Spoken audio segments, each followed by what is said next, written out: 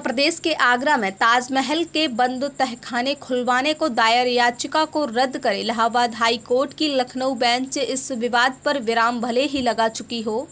लेकिन ताजमहल चर्चाओं में है। रालोद के राष्ट्रीय अध्यक्ष जयंत चौधरी के ताजमहल पर किए ट्वीट के बाद इंटरनेट मीडिया में यूजरों के बीच संग्राम छिड़ गया है। जयंत के समर्थक उनके पक्ष में हैं तो बहुत से यूज़र सवाल खड़े कर रहे हैं। ज्ञान बापी को लेकर भी सवाल दागे जा रहे हैं। रालोद के राष्ट्रीय अध्यक्ष जयंत चौधरी का ट्विटर अकाउंट जयंत सिंह के नाम से है। उन्होंने शुक्रवार रात नौ बजे ट्वीट किया, जी हाँ ताजमहल हमारा है।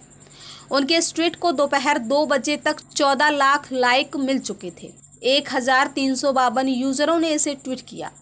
एक सौ नवासी लोगों ने इस ट्वीट को क्योट किया है। जयंत चौधरी के इस ट्वीट के बाद यूजरों के बीच इंटरनेट मीडिया में वार छिड़ गया है। जयंत चौधरी के ट्वीट पर रिप्लाई करते हुए जाकिर अली त्यागी ने लिखा, सुनिए जयंत साहब, ताजमहल न तुम्हारा है, न इनका है, न उसका है, न उस पार का है। ताजमहल हमारा है जिसको भारत सरकार को देखभाल के लिए सौंपा हुआ है।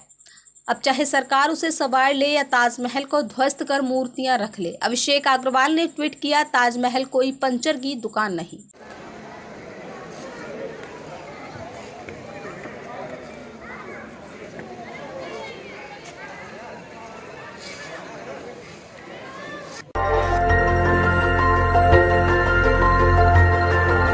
देखते रहिए डीबी भारती समाचार। नज़र हर खबर।